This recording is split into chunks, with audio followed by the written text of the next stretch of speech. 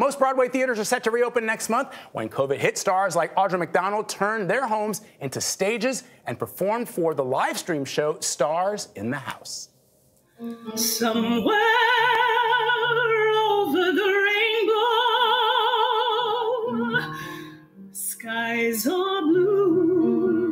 What a voice. The stream has been a smash hit, raising more than $1 million for people in the industry who needed help after theaters closed. Stars in the House recently held its first in person show to celebrate its success, and Dr. Jon LaPook played a special role. John, good morning. Good morning, Vlad.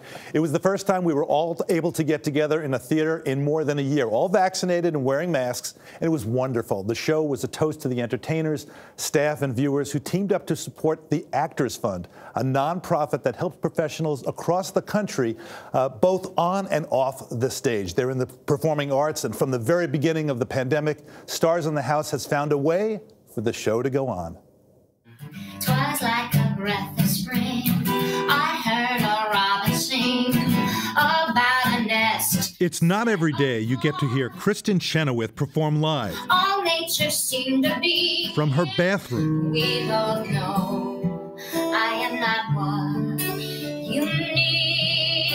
Every singer knows that you sound better in the bathroom. The Emmy and Tony Award winning actor is part of the Stars in the House community, a daily live stream show that has helped keep a glimmer of theater alive while much of Broadway remains dark. What do you think Stars in the House has meant for people emotionally and for you personally? I think a moment of entertainment through acknowledgement of what we're going through is what's needed. It's time. Even in turmoil and bad, there's still so much good. The best award that one can give is what y'all have done this past year. That's better than any amount of money. You can't put a price tag on it. anyone donating. But you can put a price tag on the money the show has raised. We've raised a million dollars for the Actors Fund. Did you ever in a million years think that was going to happen? We never thought we were going to do the show past a month, so we definitely never thought we would raise a million dollars. Somewhere over the rainbow.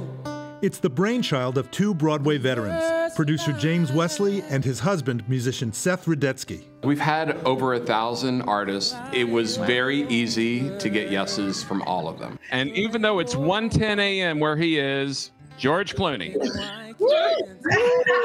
Oh, I'm sorry. I didn't know. I'm sorry. Performances have spanned the world of entertainment, including theater, television, Join us. music, and comedy. I think it's really disrespectful for Richard to eat while I'm acting. I've been part of the team from day one, giving medical advice. The benefits of this vaccine far, far, far outweigh the risks. All the Stars in the House proceeds go to the Actors Fund, a nonprofit established in 1882. That's almost as old as Broadway itself. This past year alone, the organization has helped more than 16,000 people hit hard by the pandemic. People hear the Actors Fund and they naturally think, oh, it's for actors. Right. The Actors Fund is a misnomer, which is not only my drag name, but it means that it is not what it stands for. So the Actors Fund is for actors, singer, dancers, but everybody backstage, wig people, stage managers, under the stage, musicians. Whether it's paying your rent, your utilities, your health insurance, Medical food. bills. Yeah. The sun will come out tomorrow.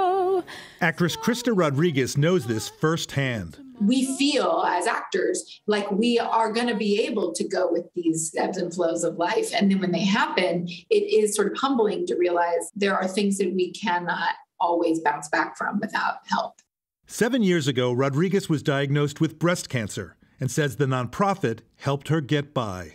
I was on, I think, for about a year while I was going through immediate treatments of um, chemo, of a double mastectomy, radiation. But when you're Eliza, She now has a clean bill of health and shares her story with Broadway audiences during fundraising drives. From an outsider's perspective, it feels like you're giving money to a red bucket and you have no idea where it's going. Now you know where it's going. I love personalizing it when you said, you're not giving it into a little red bucket, you're giving it to me. And if you don't like me, someone else will get it too, you know. And on this special night, The stars came out of the house to celebrate the success of the show, and I got to revel in the healing power of the arts. Epitaph. I got the horse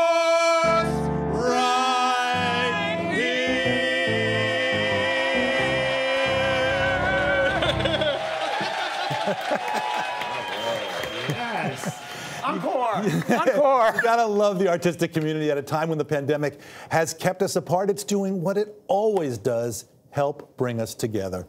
Go to starsinthehouse.com for more information and to watch past shows, which were amazing. Hundreds of them. Dr. LaPook, who knew you had such range? I knew because his office is next to mine. Yeah, Sometimes I walk by I've been and torturing. I We've been singing it, it for a while. Well, Wow. you know, th- th- they're the uh, teaspoon of sugar that helps my medicine go down, and you know, the healing power of the arts. And it's not just for the performers, it's for everybody. Everybody behind the scenes and people across the country. It's not just for actors. And like so many other people during the pandemic, they have been crushed economically. Mm. This has been a lifesaver for them. Dr. LaPook, a new chapter every day. Thank you very much.